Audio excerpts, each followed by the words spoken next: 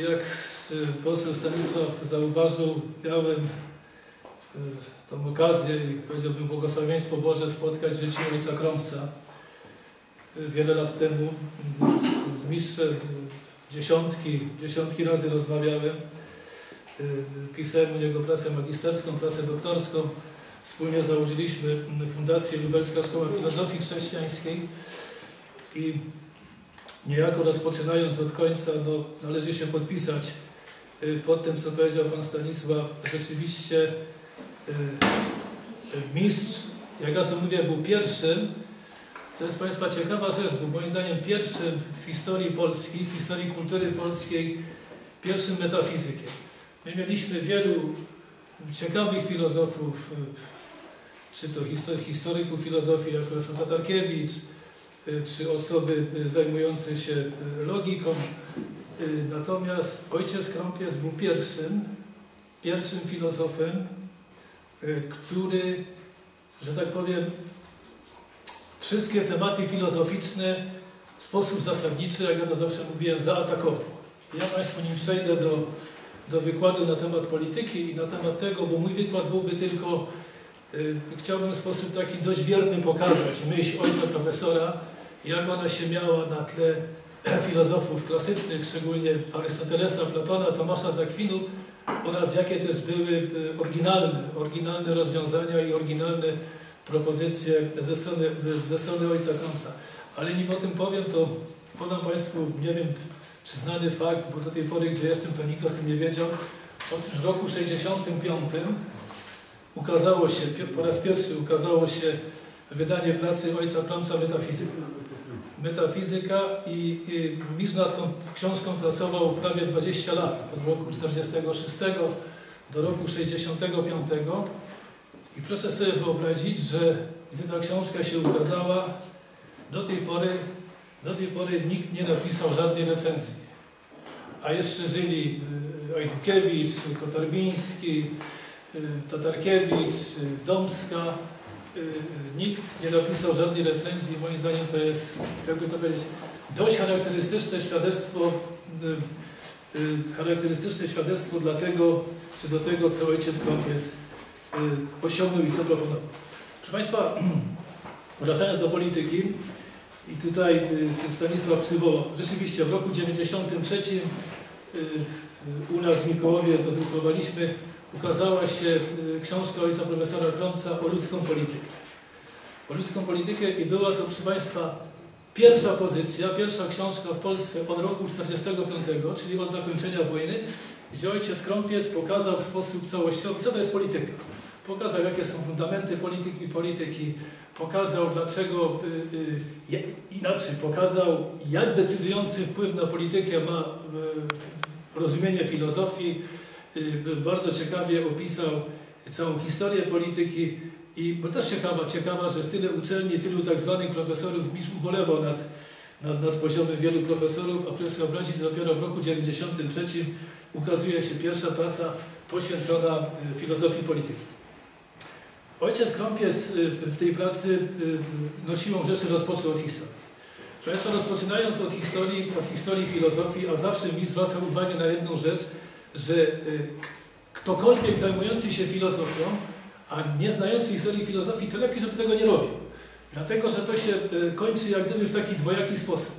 Albo się popełnia wciąż te same błędy, które już występowały w filozofii nie raz, i one mają bardzo często tragiczne konsekwencje, o tym, o tym będzie mowa później, albo się już wyważa drzwi dawno otwarte.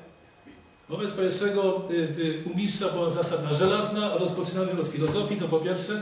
Po drugie, rozpoczynamy od czytania tekstów w oryginale. Oryginale, potem ewentualnie komentarze. Y, Ojciec Krąpiec był pierwszym, który w dziejach kultury polskiej metafizykę Arystotelesa przetłumaczył z języka greckiego na łacinę, z, z, z łaciny na język polski i napisał do tego prawie 150-stronicowy komentarz. I teraz oczywiście siłą rzeczy mistrz, rozpoczynając wykład o polityce, rozpoczyna od Greków. Rozpoczyna od Greków, konkretnie rozpoczyna od Platona, powiedziałbym w zasadzie od Sokratesa, ale jak Państwu wiadomo, Sokrates nie pisał, Platon z kolei był ukochanym, y, był uczniem, ukochanym uczniem Sokratesa I na co ojciec Kąpiec wielokrotnie zwracał uwagę, że rozumienie polityki, prawa, człowieka, kultury, sztuki zawsze jest rozumieniem, które wynika z takiego, a nie innego czytania rzeczywistości.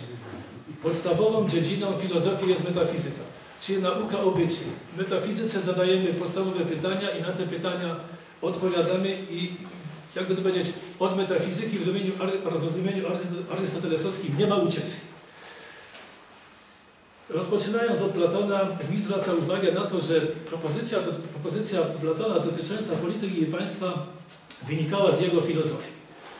Y, podstawowe dzieło y, Platona, gdzie zajął się y, polityką, to jest Państwo, no równie ciekawe są jego dialogi.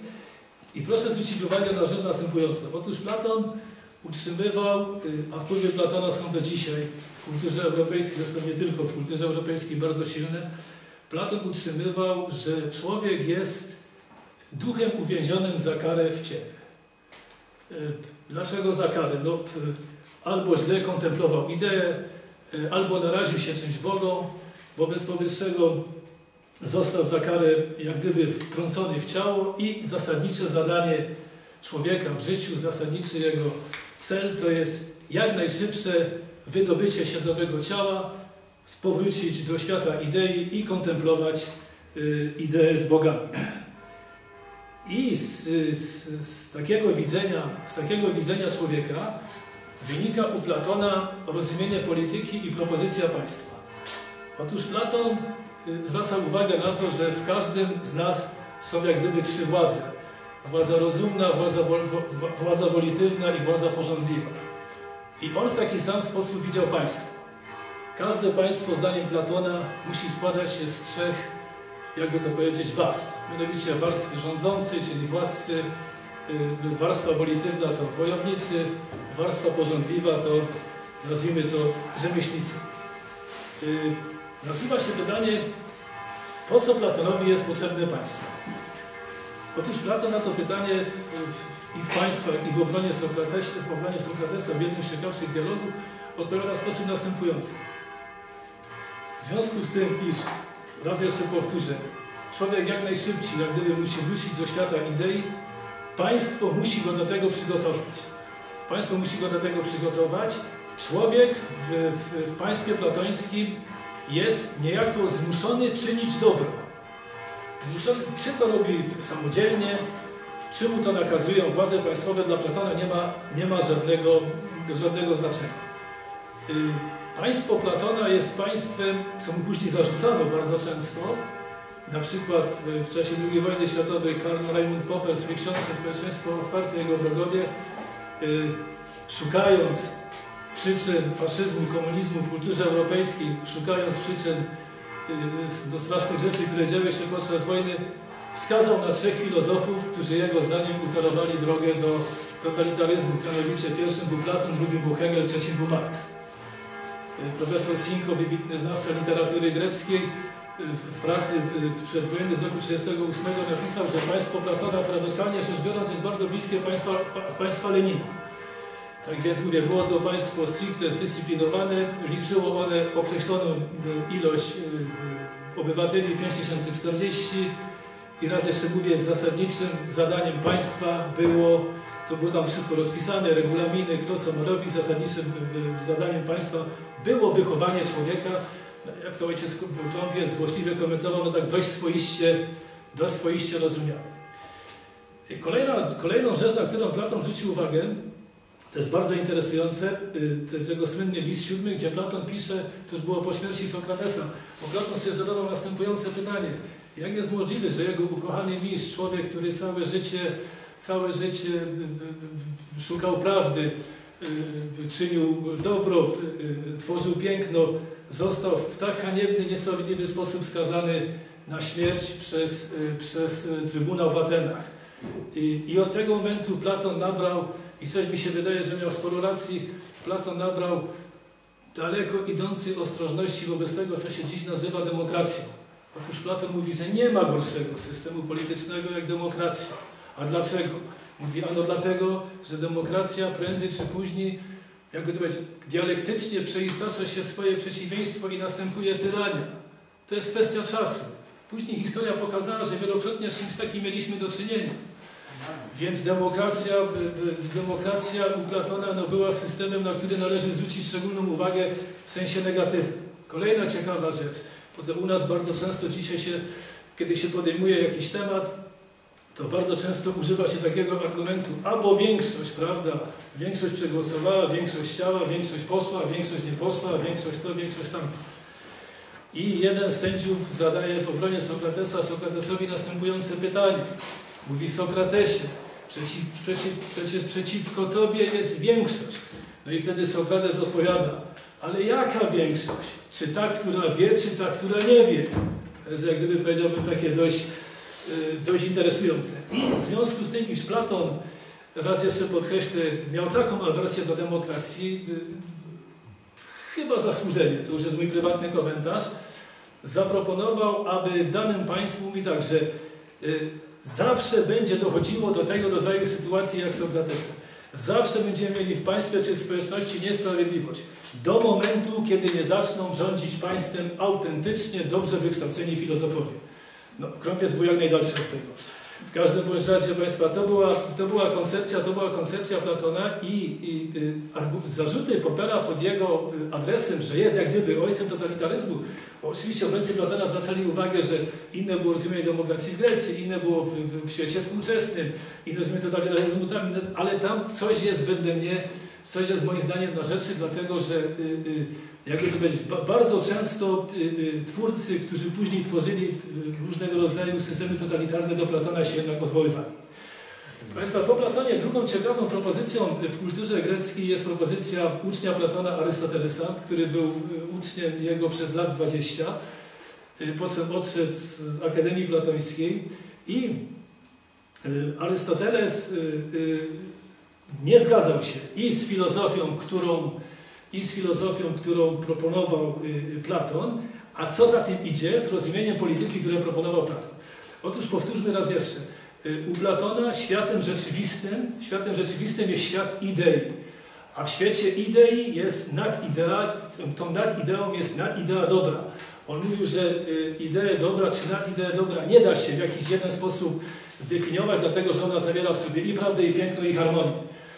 To się jeszcze później, potem będę mówił, wiąże z koncepcją dobra u Platona. Jest świat idei. Y, większość, większość ludzi przypomina, i tu jest słynna parabola, y, słynna parabola jaskini y, platońskiej.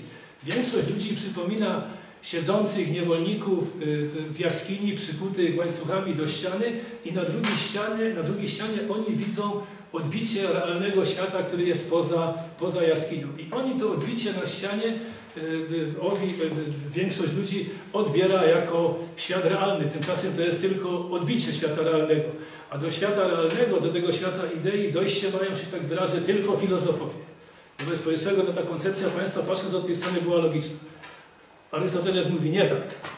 Nie tak. Po pierwsze, y, y, rzeczywistość to nie jest świat idei, dlatego że później do Arystotelesa nawiąże święty Tomasz z Akwinu. Dlatego, że rzeczywiste są tylko konkretne byty. Tylko konkretne byty. Tam oczywiście ja nie chcę teraz y, y, jak gdyby rozwijać całej filozofii Arystotelesa i o ile to, co według Platona konstytuuje świat, to idea, Arystoteles mówi nie. To, co konstytuuje świat, to jest forma, nie ma świata idei, są tylko konkretne byty. Wobec powyższego nie ma idealnego państwa. To państwo, które proponuje Platon jest, jest, jest utopijne. Jest utopijne i ono może przynieść opłakane skutki, co później historia pokazała. Otóż Platon proponuje, a w związku z tym, jak Państwo wiadomo, Arystoteles proponuje, jak Państwo wiadomo, Arystoteles był z wykształcenia lekarzem i miał takie, takie ciągoty, jakby to powiedzieć, przyrodnicze, on y, y, empiryczny, prawda? Wpierw zbadał, a dopiero później na podstawie tego formułował jakieś ogólne wnioski. Otóż Arystoteles mówi, że y, możemy wyróżnić trzy rodzaje państwa. Trzy rodzaje y, państwa i trzy, trzy rodzaje państwa w sensie dobrym i trzy rodzaje państwa w sensie złym. Kiedy państwo spełnia swoje cel, y, swój cel? Państwo spełnia swój cel, kiedy y, realizuje dobro wspólne. Dobro wspólne obywateli. Kiedy natomiast swego celu nie spełnia, kiedy realizuje interesy rządzących. I Arystoteles pisze tak, jeżeli rządzi jeden. Jeżeli mamy do czynienia z władzą jednego, wówczas, jeżeli ustrój funkcjonuje w sposób poprawny, mamy do czynienia monarchii, z monarchią. Natomiast w przeciwieństwie monarchii jest tyrania. Jeżeli rządzi grupa, niewielka grupa osób i rządy te przebiegają w sposób prawidłowy, są stanowione przyzwoite prawa, ustrój państwowy jest do zaakceptowania przez zdecydowaną większość, wówczas mamy do czynienia z arystokracją. Jeżeli natomiast y, y, rządzą ci, którzy, niewielka grupa, która ma na uwadze tylko swój własny interes, wówczas mamy do czynienia z oligarchią. I Państwa, i trzecia też jest ciekawa historia, mianowicie Arystoteles, o ile polemizował przy całym szacunku dla Platona, bo to, to geniusze jeden i drugi, y, mówię, o ile w wielu kwestiach polemizował z Platonem, miał takie same zdanie na temat demokracji jak Platon. Otóż trzeci ustrój, w którym rządzi albo większość obywateli, albo przez większość obywateli desygnowani jej przedstawicieli i jeżeli ten ustrój funkcjonuje w sposób bardzo poprawny, przyzwoity, wówczas mamy do czynienia z politeją. Natomiast wypaczeniem politei i najgorszym z możliwych ustrojów jest, podobnie jak u Platona, demokracja. To jest bardzo ciekawa, bardzo ciekawa historia. Proszę Państwa, i, i mimo iż Platon, bo to jest bardzo ważny moment przy liberalizmie, mimo iż Platon i Arystoteles, raz jeszcze podkreślam, zaproponowali inne rozwiązania, inaczej widzieli i przedmiot, i przedmiot filozofii, y, i rozumienie polityki, i rozumienie państwa, to jednak zgadzali się co do jednego. Mianowicie co do tego, że państwo jest stworem naturalnym. Że każda społeczność, począwszy od rodziny, przez gminę, tam nie wiem, dzisiaj powiat, województwo, państwo, jest tworem naturalnym. To nie jest tak, jak to później było w liberalizmie, że państwo jest wynikiem umowy. Nie, jest to twór naturalny. A to o tym za chwilę. Proszę Państwa, bo yy, yy, i gdyby tak można było sumować, yy, oczywiście w kolosalnym skrócie, rozumienie polityki u Greków, to któryś, któryś z komentatorów zwrócił uwagę na ciekawą rzecz. Mianowicie mówi, że w kulturze greckiej pojawiły się jak gdyby trzy stanowiska dotyczące polityki, trzy różne rozwiązania. Pierwsze rozwiązanie to było to rozwiązanie, które zaproponował Sokrates i skończył jak skończył. Otóż Sokrates utrzymywał, że e, bycie w polityce jest obowiązkiem każdego z nas. Krąpiec w jednym z ostatnich wywiadów, e, w jednym z ostatnich pod koniec życia powiedział już bardzo ostro i wprost, że kto nie zajmuje się polityką jest barbarzyńcą. Dlatego, że od polityki, e, od polityki, podobnie jak od filozofii, nie ma ucieczki. Nie ma. Idziesz głosować, podejmujesz jakiś wybór, nie idziesz, też podejmujesz. Nie ma ucieczki, mówię od polityki szeroko, szeroko rozumiem. I Sokrates stał na takim stanowisku. To Państwo znacie, chodził tam po, po, tych, po tych różnych y, ulicach i, i, rozmawiał, pytał i mówi, że rola filozofa jest taka jak, jak rola akuszerki przy, przy rodzeniu dzieci. Rola filozofa polega na tym, że on spotyka się z Panem, z Paniami, z Panem i rozmawia na temat dobra, prawdy, piękna i jak gdyby pozwala drugiej stronie czy umożliwia, czy pomaga, czy razem dochodzą do, do rozumienia, czy do prawdy, czy do rozumienia dobra, rozumienia piękna. I to było jedno stanowisko, innymi słowy należy brać czynny udział w polityce. Od polityki nie ma ucieczki. Platon się z tym nie zgadzał. Y, Platon w wszystkich swych dialogach, w państwie, w prawach, w dialogach, gdzie zwracał uwagę na politykę, podkreślał rzecz następującą, że zadaniem, co się oczywiście nie kłóci z tym, co on proponował, żeby filozofowie rządzili państwem, ale on mówił, że zadaniem filozofa jest nie bycie w polityce, ale opisanie tego stanu rzeczy. Zdiagnozowanie, tak? Jakby to powiedzieć, lekarz w stosunku do chorego, prawda? Więc filozof ma za zadanie opisać i wskazać, wskazać społeczności, dlaczego jest tak, a nie inaczej i z czego to wynika. I Państwa, jest trzecie stanowisko, dzisiaj niestety dominujące, e, dominujące w naszej kulturze, mianowicie e, stanowisko sofistów. E, tam były dwa wielkie nazwiska, Protagoras i Gorgiasz, Sokrates bardzo często i bardzo ostro polemizował z sofistami. Sofiści wychodzili z założenia, że pytanie o dobro, o prawdę, o piękno, szukanie tego jest bezsensowne. Protagoras powiedział kiedyś wprost, że zadaniem filozofa jest ze zdania słabszego uczynić zdanie silniejsze. I to dzisiaj widać szczególnie na przykładzie mediów. Za, zawieszono wszystkie pytania, zawieszono wszystkie pytania dotyczące fundamentalnych spraw każdego z nas. Dlatego, że każdy człowiek, czy to był pierwszy, który się pojawił na Padole Ziemskiej, czy to będzie ostatni, zawsze ma takie same problemy. Zawsze ma takie same pytania. Od tego się nie ucieknie. Nie ma takiej możliwości. I sofiści zaproponowali rzecz następującą, powiedziałbym, jakby to tak określić, żeby, żeby tutaj nie, nie spłyć, daleko idącą manipulację. I wskazuje się na sofistów jako tych, którzy byli protoplastami liberalizmu. I w tym jest sporo prawdy. Za chwilę do tego, za chwilę do tego dojdziemy. Proszę Państwa, y, y, y, Rzym, Rzym, jeżeli chodzi o czasy rzymskie, to głównie Cyceron, oni w zasadzie, jeżeli chodzi o filozofię, bo bardzo często się mówi, że u podstaw cywilizacji łacińskiej leżą jak gdyby trzy takie fundamenty, mianowicie chrześcijaństwo, filozofia grecka i prawo rzymskie. Więc jeżeli chodzi, jeżeli chodzi o filozofów rzymskich, też byli ciekawi, Cyceron, paru innych, ale tu w zasadzie nic, nic nowego w stosunku do tego, co proponował głównie Arystoteles, jak gdyby nie dodano. Poza tym, co dla nas ma kolosalne znaczenie, oni rzeczywiście byli doskonali, jeżeli chodzi o rozumienie, o rozumienie i stosowanie państwa, stosowanie, stosowanie prawa. I teraz następuje ciekawy moment, mianowicie yy, pojawia się chrześcijaństwo. Pojawia się chrześcijaństwo i Państwo pewnie znacie yy, słynną historię, bo nasuwało się następujące pytanie. Czy chrześci co chrześcijaństwo wniosło nowego w stosunku do tego, co proponowali Grecy, a szczególnie Platon, Arystoteles i jak to się wszystko ma na tle życia?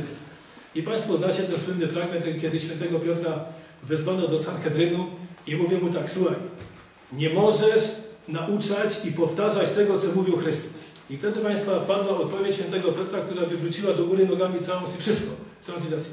Święty Piotr mówi, słuchajcie, bardziej należy słuchać Boga aniżeli ludzi. Prawda? Czyli w jednym zdaniu jak gdyby odwrócił cały, cały ten porządek.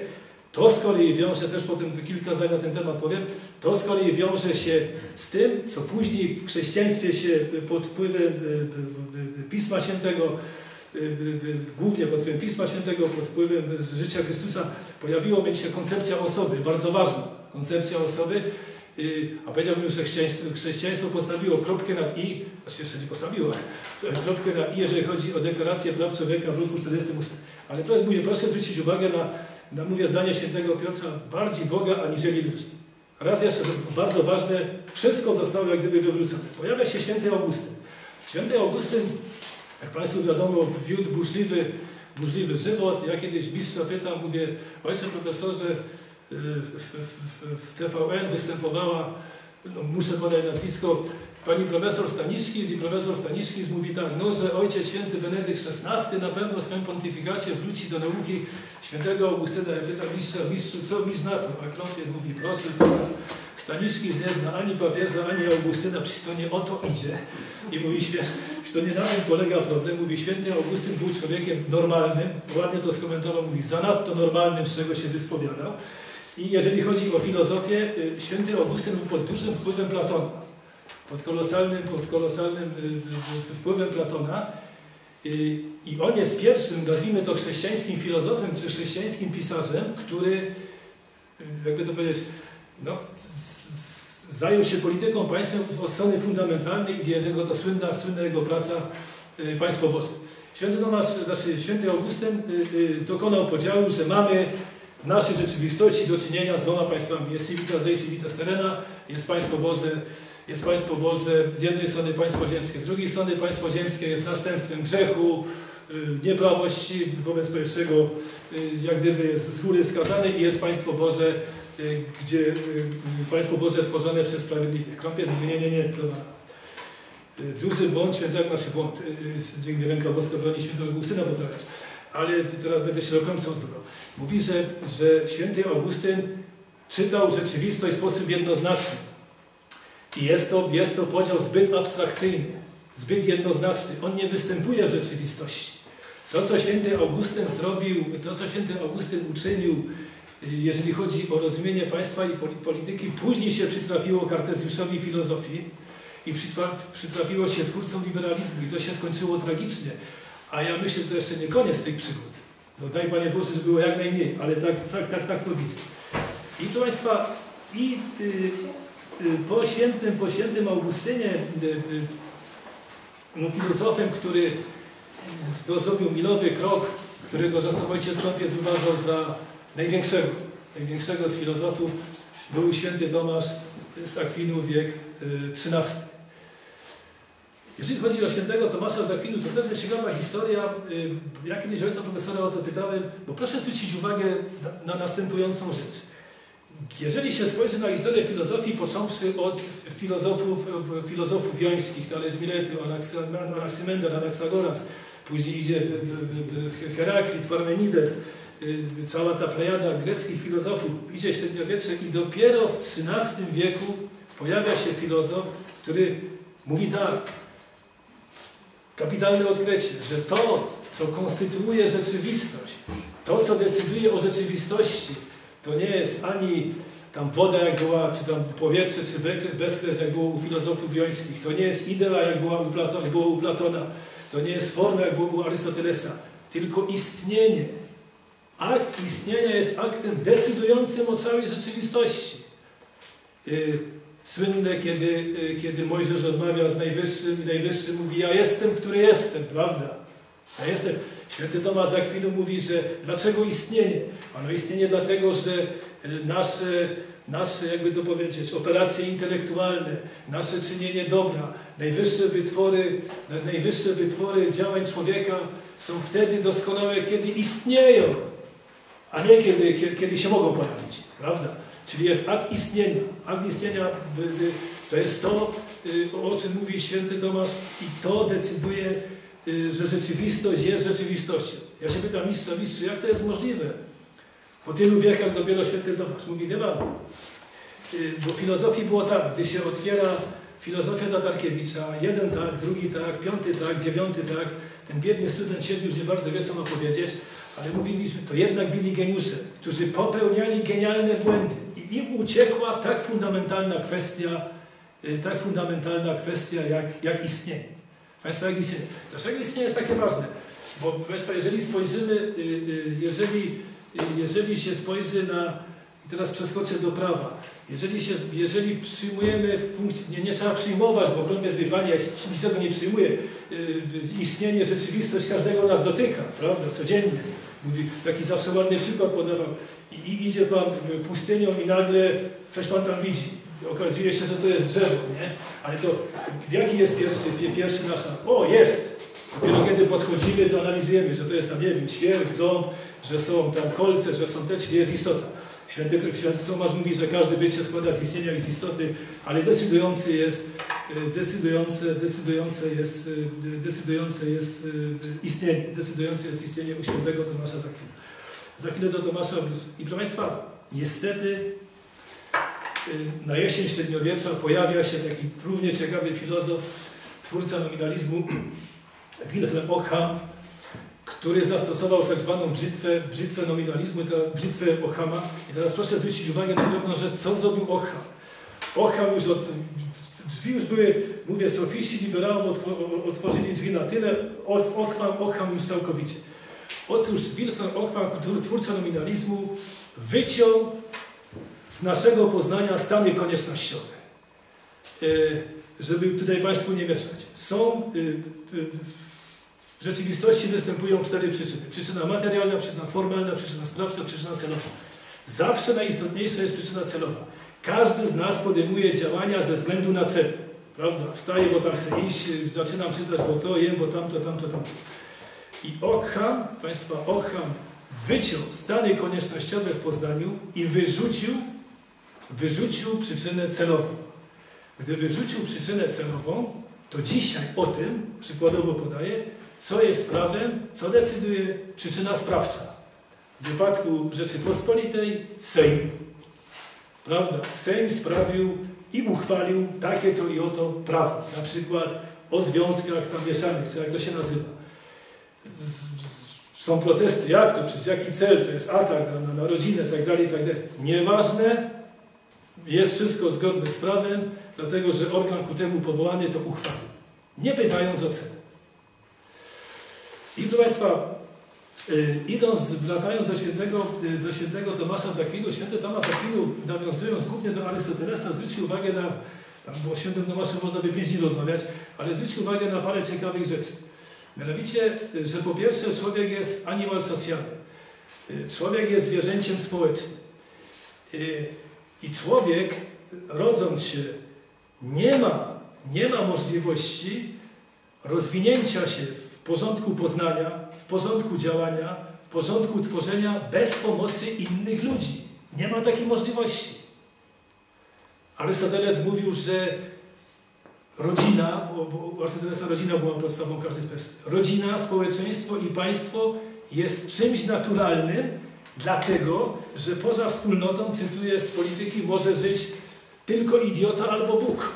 Tak więc człowiek jest niejako na, na, na społeczeństwo skazany. Animal socjalny. Mówi, zwraca uwagę święty Tomasz. I druga, druga historia y, u świętego Tomasza, że człowiek jest animal politykiem.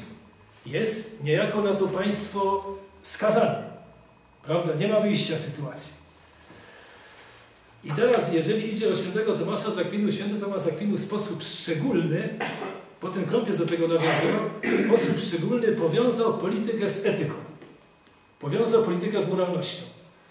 Jak to Krąpiec wielokrotnie podkreślał, nie ma czynów ludzkich, które są moralnie neutralne. Każdy czyn jest moralny. Nawet jak on taki miał ulubiony przykład, siedząc kiwam nogą, to kiwam nogą mogą być dwa powody. Noga odpoczywa albo chce kogoś kopnąć, prawda? Więc każdy, y, y, każdy ten jest, proszę Państwa, każdy, każdy nasz czyn jest moralny. Teraz wracając do Ochama, Ocham, proszę Państwa, otwiera nominalizmem, czyli raz jeszcze mówię, usunięciem przyczyny celowej, zasadniczej, wyrzuceniem naszych stanów koniecznościowych poznaniem, otwiera drogę do protestantyzmu w teologii. Otwiera do protestantyzmu, jeżeli chodzi o religię, i otwiera drogę do liberalizmu, jeżeli idzie o politykę. Bardzo ważny filozof. Jest to bardzo ważny, bardzo ważny filozof, przy okazji polecam. Proszę Państwa, i po Okhamie filozofem, który zdaniem Kromsa zadał decydujący cios, bo y, Krompies mówi, że wielokrotnie o tym pisał, że jeżeli chodzi o religię, i cywilizację łacińską, a on cywilizację łacińską w sposób szczególny wyróżniał na tle innych, bizantyjskiej, turańskiej, moskiewskiej, żydowskiej, że taki decydujący cios cywilizacji łacińskiej zadał z jednej strony Luter i mówi, że tak de facto ta cywilizacja już nigdy nie wróciła do swego poprzedniego stanu, czyli z jednej strony Luter, a z drugiej strony Kartezjusz filozofii. A to, o tym Kartezjuszu za chwilę, proszę Państwa, ale między, y, y, między y, Ochamem a Kartezjuszem pojawia się bardzo ciekawy, ciekawy przypadek w naszej kulturze, mianowicie pojawia się Niccolo Machiavelli. I Niccolo Machiavelli dokonał, jeżeli chodzi o politykę, on pierwszy to zrobił w naszej kulturze, o czym się bardzo rzadko mówi. Ja wiem, jeżeli chodzi o profesorów, to wiem, z czego to wynika. Oni nie wiedzą, ale to szkoda. Się bardzo rzadko o tym mówi. Mianowicie Machiavelli jako pierwszy stwierdził rzecz następującą. Yy, o ile yy, przez całe średniowiecze, całą starożytność polityka była w polu działania praktycznego, podporządkowana moralności, oceniana z punktu widzenia moralności, o tyle Machiavelli mówi nie. Polityka nie podlega porządkowi praktycznemu, czyli takiemu, w którym dążymy do dobra. Polityka podlega porządkowi poetycznemu, to jest takiemu, gdzie wytwarzamy. Polityka jest takim samym zajęciem jak yy, ślusarz, tokarz, piekarz. Nie podlega żadnym, żadnym ocenom moralnym. Polityk ma tylko jedno zadanie. Zdobyć i utrzymać władzę za wszelką cenę. Książę, książę musi występować, musi mieć podwójną naturę. Fundamentalna praca yy, Machiavellego książę, acz niedoceniana pięciotomowa historia Rzymu. Ale my Machiavellego książę i mówi, że książę musi mieć jak gdyby podwójną naturę. Naturę lwa i lisa. A pytali Machiavellego, słuchaj, a skąd u Ciebie taki punkt wyjścia, taka ocena? A on mówi, bo polityka jest konieczna dlatego, że człowiek z natury swej jest zły, że masy ludzkie są ciemne i durne. Cytuję dosłownie. Wobec powyższego uzgadniać cokolwiek z nimi, zajmować się dobrym człowieka. Jaki mówi tam Arystoteles, czy tam święty Tomasz, który mówi, że Państwo powinno być tak zorganizowane, aby człowiekowi umożliwić rozwój sił osobowych, aby człowiek mógł kontemplować. Wszystko niepotrzebne. Wszystko jest niepotrzebne. Władza dla samej władzy. Y, dziś, i to Państwa, to mamy, to, to był wiek, to był wiek XV i proszę zwrócić uwagę, oczywiście przed Machiavellim też toczyły się wojny i to nie jedna, też wydarzyły się, zdarzały się okrucieństwa, ale nigdy, proszę Państwa, nigdy w kulturze, w cywilizacji łacińskiej polityka nie funkcjonowała jako coś, co nie podlega ocenom moralnym. To było niemożliwe. I od, I od Machiavellego do dzisiaj mija pięć wieków i niestety musimy stwierdzić, że w, że w polityce Machiavellizm dominuje na, dominuje na całej, na całej, na całej linii. Proszę Państwa, jeżeli chodzi, bo za chwilę będę mówił, za chwilę będę mówił o Kartezjuszu. Z Machiavellim jest jeszcze jedna ciekawa rzecz, mianowicie, jak Państwu wiadomo, święty Tomasz Akwinu o jedynym filozofie, o jedynym filozofie pisał zawsze z wielkiej, z dużej litery, to o Arystotelesie. Kiedy święty Tomasz pisał filozof, to było wiadomo, z dużej litery było wiadomo, że idzie o Arystotelesa. Innych wymieniał. I święty Tomasz, i święty Tomasz Akwinu doszedł do Arystotelesa przez Awicennę, przez filozofów arabskich. Przez Awicennę Averroesa. Potem zarzucił Averroesowi, że to jest bardziej, on rzadko używał takich słów święty Tomasz, ale że Averroes to nie jest, Arystoteles to jest bardziej taka, przepraszam, mówię, prostytucja arystotelizmu. To nie ma nic wspólnego z Arystotelesem. A Machiavelli nawiązał do Averroesa, jak to mówi Krąpiec, przeakcentowano ten wątek taki racjonalistyczny, bo u Averroesa była bardzo ciekawa rzecz. Mianowicie u Averroesa nie istniała nieśmiertelność duszy jednostkowej. Nie istniała nieśmiertelność duszy jednostkowej, a na co się to przekładało? jakaś, kiedy pytano Averroesa, to mówi, że nie, nie, nie, ma nie ma nieśmiertelnej duszy jednostkowej, ale jest nieśmiertelna dusza świata. No i Krąpiec mówi, ona od nieśmiertelnej duszy świata już był tylko krok do czego? Do duszy narodu. Prawda? Co potem w sposób szczególny wykorzystali Niemcy. Podczas wojny, wojen napoleońskich słynne kazania do narodu niemieckiego wygłaszał filozof Fichte, prawda? Podkreślając ten element, ten element narodowości, prawda? Że, że duszy narodowości. I Państwa, i, i teraz jest ciekawa rzecz, mianowicie yy, do tego Machiavellego jeszcze wracając, yy, i Fryderyk Wielki, i Katarzyna się oburzali, to skandal, jak taki Machiavelli takie rzeczy może pisać, a oczywiście jego politykę stosowali, powiedziałbym, aż zbyt dobrze, no niestety często, często kosztem naszego narodu. Machiavellego kiedyś jeden z przyjaciół zapisał, zapytał mnie, Machiavelli, jak ty mogłeś coś takiego napisać, jak ten książek? Jak ty tych ludzi przedstawiłeś? A on mówi, słuchajcie, przecież ja nie pisałem o tym, jacy ludzie mają być, ja pisałem tak, o, o nich tacy, jacy są. Także y, u podstaw koncepcji Machiavellego leżała, powiedziałbym, daleko idąca, pesymistyczna koncepcja człowieka, rozumienie człowieka. To samo się potem u Hobbesa pojawiło w liberalizmie. Prawda? Że człowiek jest z natury zły, że to jest taka kanalia. I jeżeli, jeżeli państwo go nie przypilnuje, to musi być wojsko, tu musi być policja. On jeszcze zwraca uwagę na religię Machiavelli jako czynnik, który może jednoczyć różne grupy. Jeżeli państwo go nie przypilnuje, no to mogą się dziać rzeczy nieprawdopodobne, straszne. I to był powiedzmy cały, cały Machiavelli. I teraz pojawia się, pojawia się na początku XVII wieku Kartezjusz. Państwa, Kartezjusz i od Kartezjusza do dzisiaj, śmiem twierdzić, kultura europejska jest pod kolosalnym wpływem Kartezjusza. To poszło w różne, w różne kierunki, kartezjanizm poszedł, to za chwilę. Ale Państwa, Kartezjusz y, y, był wychowankiem szkoły jezuickiej, studiował kilkanaście lat. Później, jak Państwu wiadomo, wybucha w Europie wojna 30-letnia, Kartezjusz zostaje żołnierzem. Jak to widzisz w jednym z wywiadów, mówi, żołnierzem był kiepski, no i tam któregoś pięknego wieczoru w Badeni Winterbergi y, ma to miejsce, Kartezjusz siada przed kominkiem, siada, nie wiem, czy coś pił, czy nie pił, nie wiem, może był zmęczony i Kartezjusz się zaczyna zastanawiać, mówi, co to jest? Mówi, od Chrystusa mija, mija prawie 1700 lat od momentu nadejścia Chrystusa. Cała Europa się wyżyna, wszyscy walczą ze wszystkimi.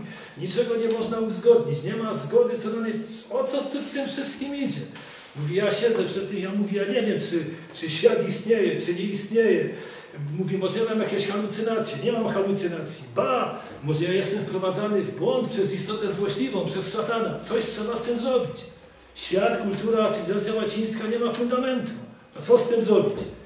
I Kartezjusz mówi, można wszystko zakwestionować, ale jednej rzeczy nie można zakwestionować. A niestety jego słynny jednej rzeczy, i to jest fundament, słynne y, Kartezjusza, cogito ergo sum.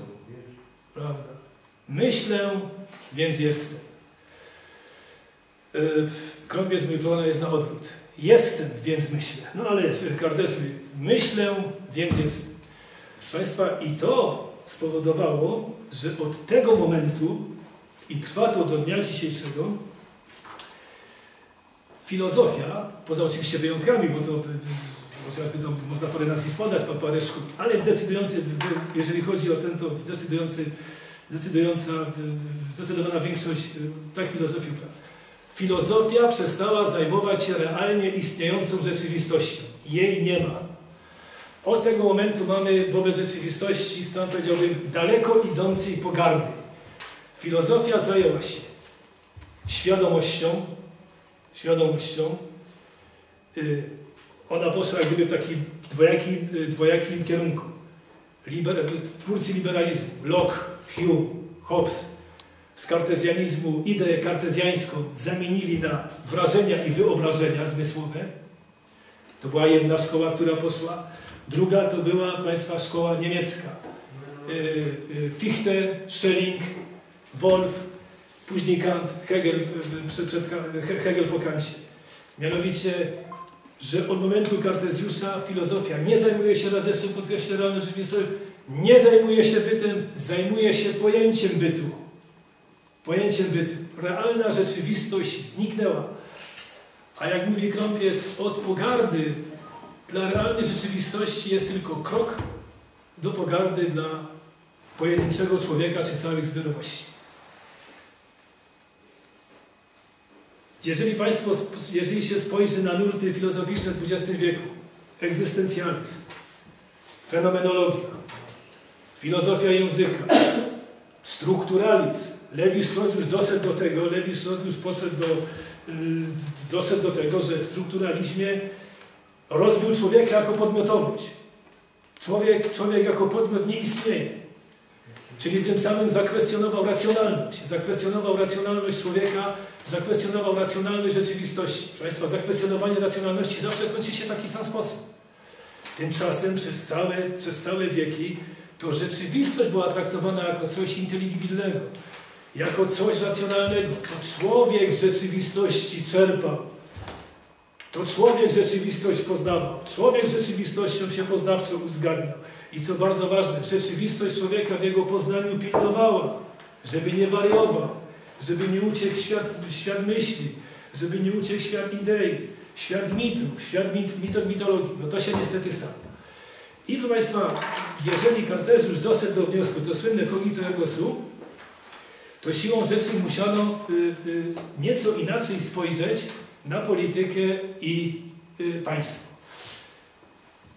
I po, y, po Kartezjuszu y, Thomas Hobbes pisze swe fundamentalne dzieło Lewiatan. Bardzo ciekawa praca.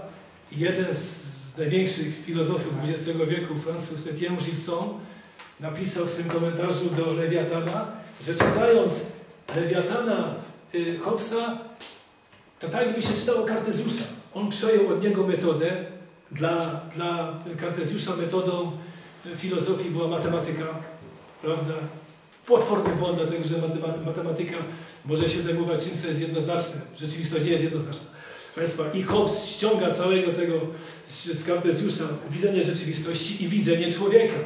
I jak się jawi u człowieka, jak się jawi człowiek u Hobbesa? Jako zamknięta monada. To, to like, każdy z nas jest zamkniętą monadą, jednostką, prawie że samowystarczalną, samoistniejącą, egoistyczną, nawiązuje do Machiavellego złą, ale teraz się nasunęło, proszę Państwa, bardzo proste pytanie. Jeżeli każdy z nas jest monadą, zamkniętą itd., tak itd., tak no to po co państwo? Po co jakiekolwiek, po, po co rodzina, po co społeczeństwo, po co miasto, po co... Proste pytanie. Jeżeli, jeżeli jednostka jest y, samowystarczalna.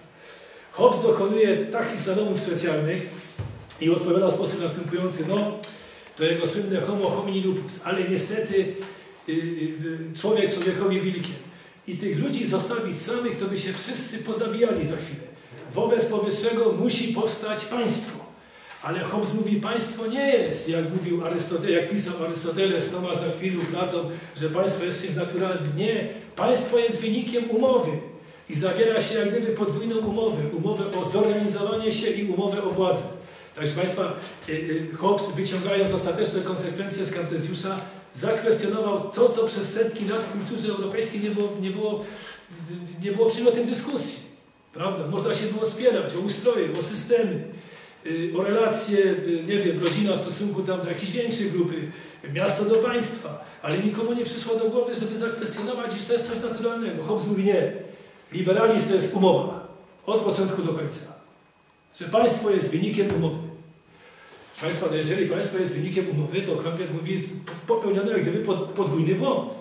Jeden bardzo niedobry, podstawowy, źle odczytano strukturę człowieka. Źle odczytano strukturę rzeczywistości. Prawda? To po pierwsze. A po drugie, jeżeli jest państwo wynikiem umowy, czy każda racja, to my się możemy umówić co do wszystkiego. Że jutro, przepraszam za określenie, zabijemy łysych, a pojutrze blondynów. No bo wedle czego rozstrzygać? Jak rozstrzygać? Karol Marx idiotą nie był, może się nie spodoba, co powiem. Karol Marx mówi tak, kto go natknął do stworzenia doktryny komunistycznej?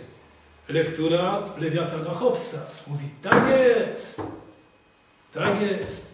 I teraz proszę zwrócić uwagę, co się, co się dzieje, co się dzieje w, w, w, polityce, w, polityce po Hobbesie. Pojawia się, pojawia się właśnie ów liberalizm, on, bo to mnie to wszystko wychodzi z Kartezjusza. Pojawia się liberalizm i to idzie w ciekawym, idzie w ciekawym kierunku. Z jednej strony proszę zwrócić uwagę na kulturę i filozofię niemiecką, głównie na, na tych trzech wielkich filozofów, no, Kant Fichte, Schelling, Hegel. Hegel doprowadził yy, w swoim systemie, co zrobił Hegel, proszę Państwa? Hegel przede wszystkim, co skutkowało po tym, na co zwracał uwagę Misz, yy, no niestety przeciw, ubóstwił państwo. Państwo jest celem samym w sobie. Prawda? Yy, Fichte naród, Hegel państwo. Kant, Kant, nie wiedząc co z tym problemem zrobić, Kant mówi tak. Człowiek nie jest w stanie poznać rzeczywistości obiektywnie istniejącej. Nie ma takiej możliwości. Ale to mu zadano pytanie, no dobra, no to, ale to według czego postępować? Mówi, bo cały problem polega na czym? Polega na tym, mówi Kant, że to ludzki podmiot narzuca rzeczywistości swe widzenie i swoje prawa. Kąpiec to ładnie skomentował. I Kant, Kant przed Trybunałem Ludzkiego Rozumu postawił całą rzeczywistość. Całą rzeczywistość, od początku do końca. To my poprzez nasze kategorie takie czy inne porządkujemy. I my narzucamy rzeczywistości racjonalność, a nie rzeczywistość nam. Tu mamy Kanta. I proszę Państwa, y, później dwa kolejne ciekawe nazwiska, złowieszcze zresztą dla nas, Clausewitz i Ludendorff. XIX-XX wiek, Państwa, Clausewitz, no już też wyciągnął konsekwencje z, z, pewnej, z pewnej propozycji, z pewnego stanu rzeczy i Clausewitz mówi, że polityka jest tożsama z wojną. Wojna jest najwyższym stadium polityki.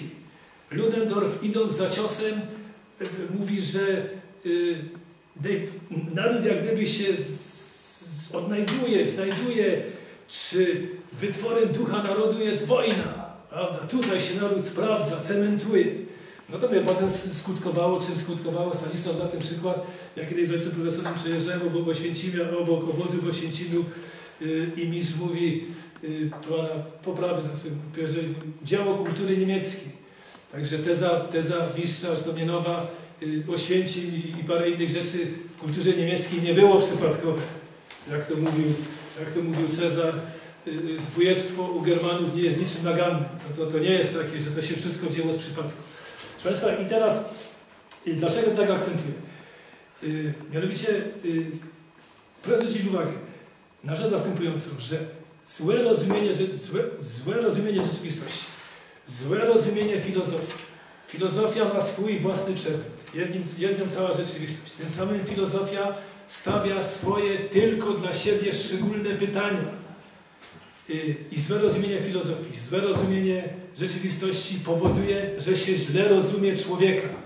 Bo albo się rozumie człowieka jako uwięzionego ducha y, w ciele Platon i gardzi się ciałem, gardzi się ciałem, potem z tego różnego, z, z takiego widzenia powstają różnego rodzaju ideologie, różnego rodzaju sekty, albo przeciwieństwo w drugą stronę, że człowiek jest tylko ewolutem materii, tak w zasadzie niczym się nie różniącym od, od, od zwierzęcia. I jedno, i drugie, i drugie rozwiązanie jest złe. Krąpiec mi, Panie, to nie tak. Filozofia musi odpowiadać na pytania realne, zajmować się realnymi problemami, studiować realnego człowieka. I mówi, kiedy się patrzy na człowieka, a czy to był Adam, czy to będzie ostatni, jak już mówiłem wcześniej, każdy z nas tutaj funkcjonuje w oparciu o dwie protezy. O protezę biologiczną i protezę społeczną.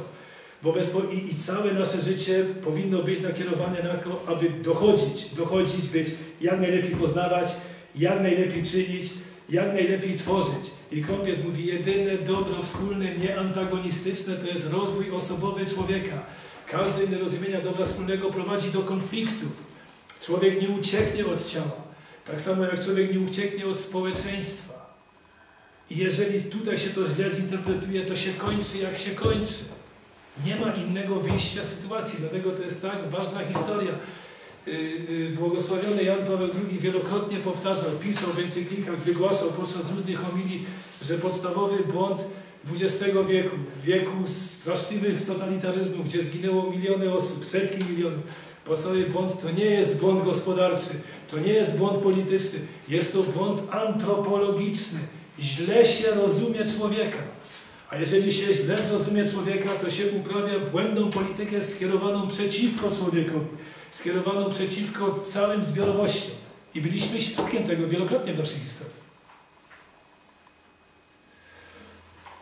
I proszę Państwa, y, y, y, mówię raz u mistrza, on mi zawsze to podkreślał, szczególnie ważne, raz jeszcze to zwracam uwagę, bo warto, mianowicie na te takie dwie, dwie protezy.